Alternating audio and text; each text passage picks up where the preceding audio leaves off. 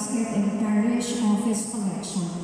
Sunday alms, envelopes, and mass intentions, Thanksgiving and Mass for the dead, 131,310 pesos. Daily Mass, 42,320 pesos.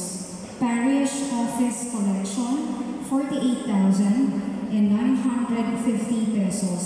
Total collection for the week, 222,580 pesos. Second basket collection for construction, 24,000 pesos. Another basket collection for Holy Childhood, 8,815 pesos. We are asking help for the church rehabilitation.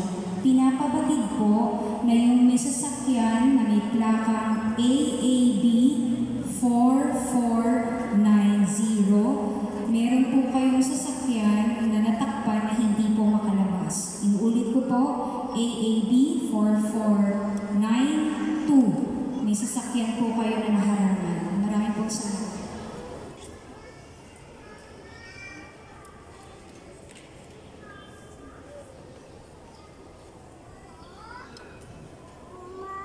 Please stand.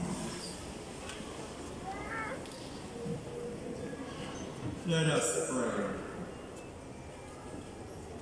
Nourished by these redeeming gifts, we pray, O Lord, that through this help to eternal salvation, through faith we ever increase, through Christ our Lord. Amen. The Lord be with you. And with your spirit, May Almighty God bless you, the Father and the Son and the Holy